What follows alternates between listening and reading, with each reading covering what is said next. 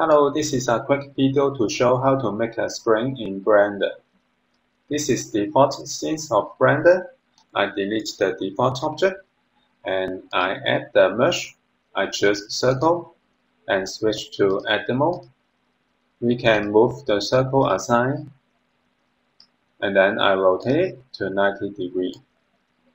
I will use this panel to turn it to 90 degree. Make sure that the origin is at the center, so when applying the screw modifier, the circle will be turned around the origin. Now we can go to Modifier Properties and add the modifier. We can choose Screw Modifier. Now we can increase the height of screw. I will use 3.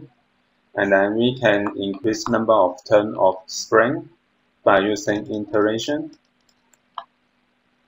Now if we move the circle, we can adjust the diameter of spring. If we scale the circle, we can control the thickness of spring. Now we can go back to mode and apply the screw modifier. If we want to fill the hole, we can go to edit mode and select the edge we can use Alt and click to select the edge loop face and choose grid fill. We can do the same thing to the top. Alt to click the edge loop and face grid fill. Now we can go back to object mode. To add the metal material, we can switch to material preview first and then we can go to material properties and add a new material.